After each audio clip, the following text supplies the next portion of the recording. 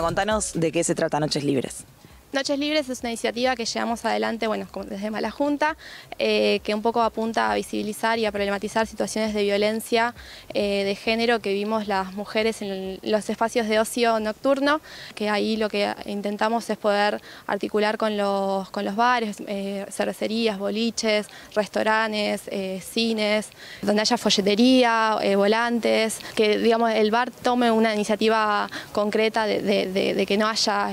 violencia en en, esos espacios y por el otro lado eh, que tenga eh, personal capacitado para, en caso de que haya una, violencia, una situación de violencia de género, pueda la persona acudir a ese, a ese personal y eh, digamos que pueda actuar ante esa situación. La campaña consiste, primero estamos haciendo una encuesta que hace una serie de preguntas para poder identificar qué situaciones vivimos, experimentamos en espacios de ocio nocturno. Sabemos por experiencia propia, pero también por lo que van arrojando las encuestas,